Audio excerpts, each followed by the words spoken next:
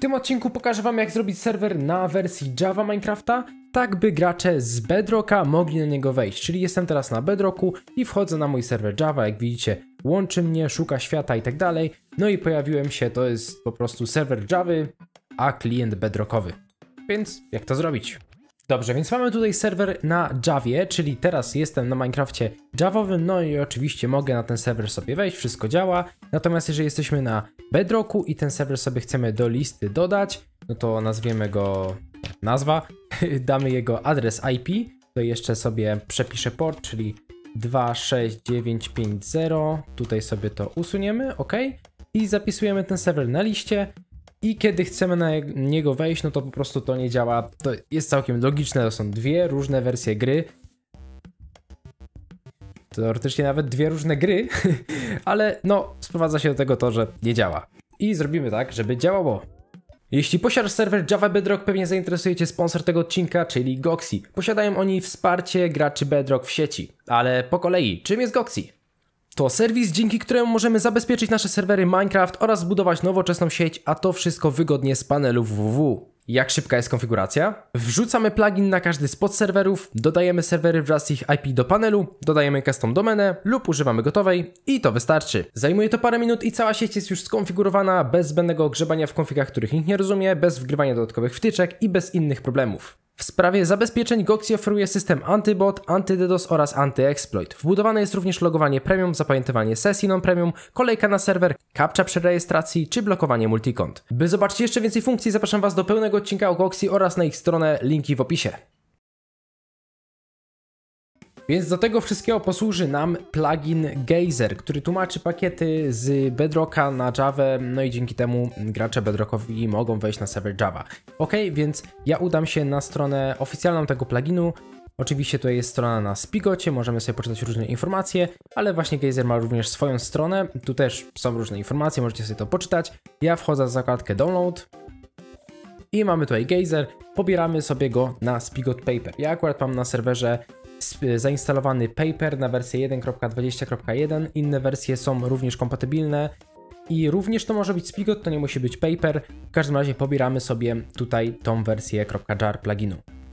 Oczywiście, jak widzicie, są wersje również inne na Bungee Corda, na Velocity, również na Fabrika, na Neoforge itd., tak itd. Tak e, jeżeli macie Bungee, możecie tam sobie władować e, tego gejzera. Natomiast my dzisiaj pracujemy na Spigot Paper. Klikam i pobieram. Teraz wchodzimy w drugą zakładkę, czyli Fruitgate. To też jest nam potrzebne, żeby geyser działał i również pobieramy Spigot Paper. Chyba, że macie inny serwer jakiś, no to wtedy pobieracie sobie na swój serwer. Co warto dodać, fajnie wgrać sobie VIA version, żeby mieć kompatybilność z różnymi wersjami Minecraft, także ja też sobie pobieram VIA version i dorzucę to na serwer. Ok, więc mam moje trzy pluginy na pulpicie, wchodzę sobie w katalog serwerowy, możecie wejść tam na hoście e, w przeglądarce, w WinSCP i tak dalej, i tak dalej, po prostu dostańcie się do swoich plików serwerowych, ja wchodzę w folder plugins i teraz ładuję tu wszystkie te trzy pluginy. Ok, pluginy załadowane i teraz restartuję mój serwer. I jeżeli nasz serwer się zrestartuje, to teraz odświeżamy sobie pliki i widzimy, że pojawiły się foldery konfiguracyjne do tych pluginów. Więc mamy Floodgate, Geyser, Spigot i VIA version. Wchodzimy sobie w Floodgate i pobieramy bądź kopiujemy ten plik. Musicie go sobie gdzieś zachować, bo teraz musimy go wrzucić w folder Geyser.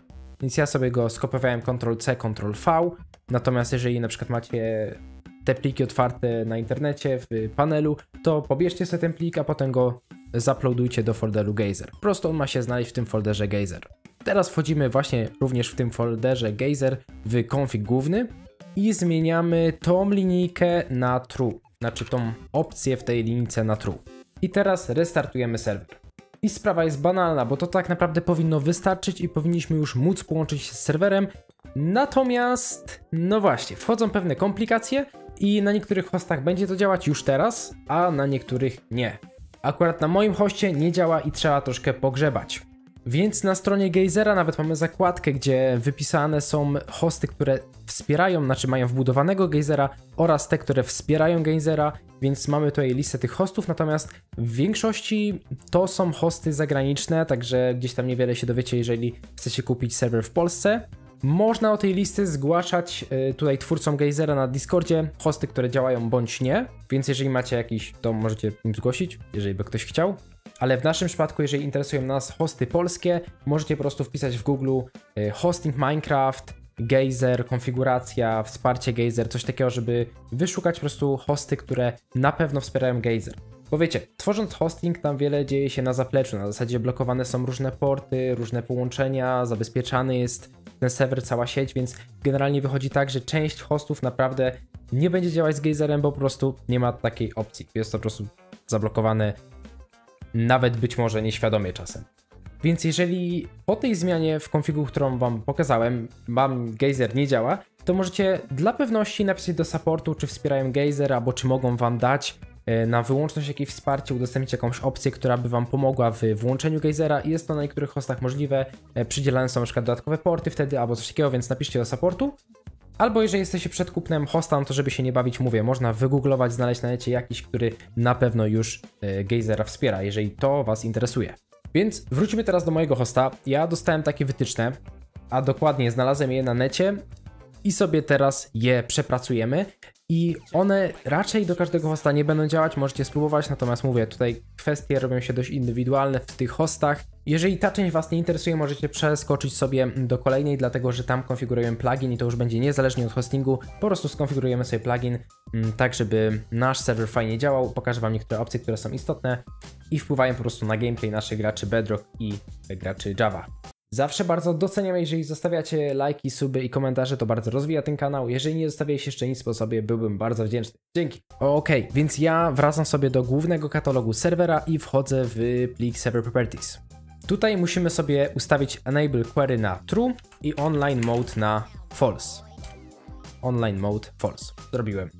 Następnie wracam w moje pliki i w folderze plugins szukam znowu folderu Geyser i wchodzę ponownie w config. Teraz wracam tą opcję na false, akurat w moim przypadku tak trzeba zrobić.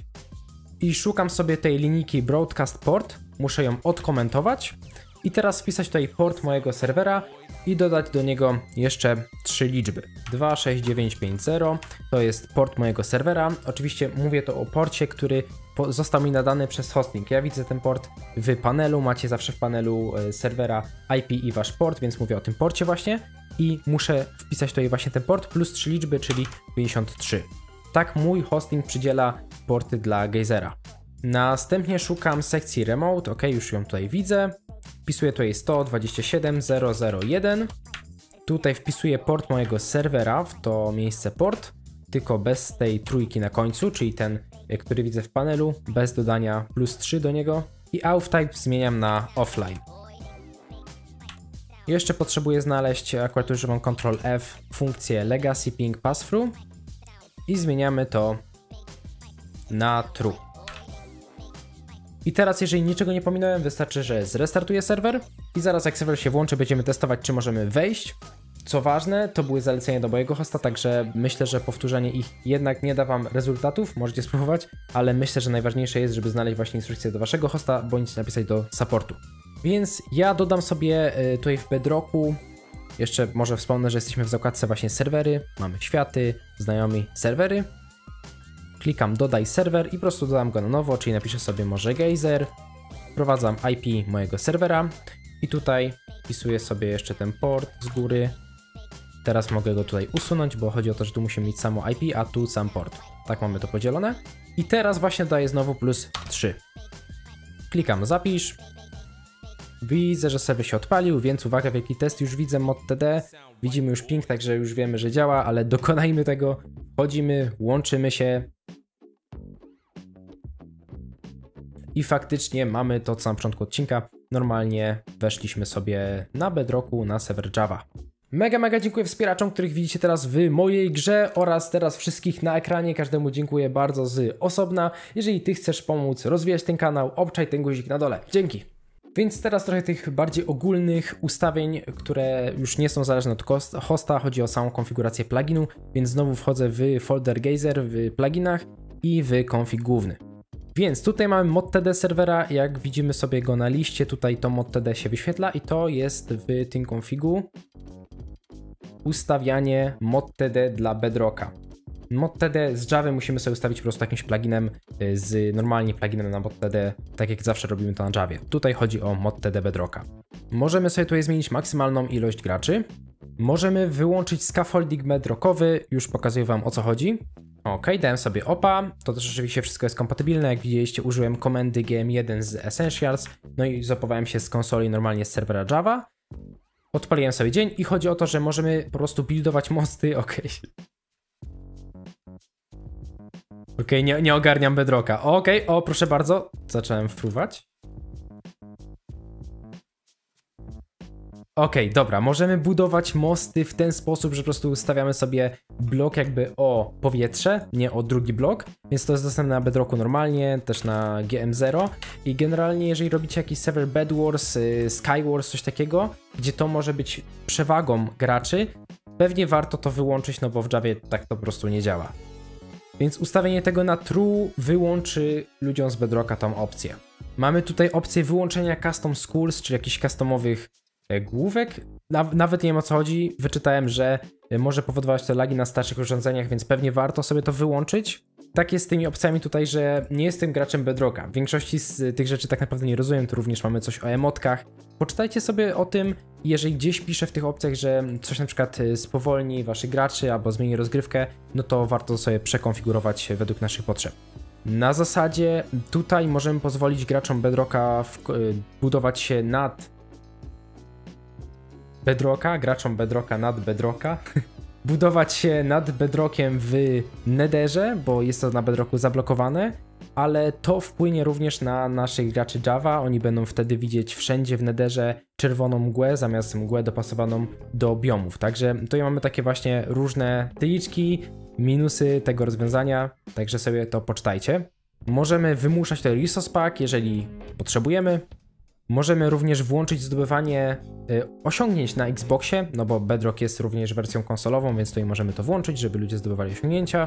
I z grubsza chyba nie widzę tu nic ciekawego. Jeszcze command suggestions, czyli y, sugestie komend, to możecie sobie włączyć, jeżeli was irytuje.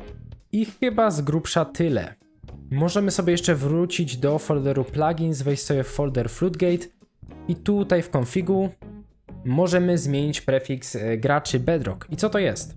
Nasz serwer jakoś musi odróżniać graczy, dokładnie ich niki, więc dodaje kropki do ników bedrockowych. Jeżeli wam to przeszkadza, to możemy sobie to zmienić. Chce się dać jakiś inny prefiks.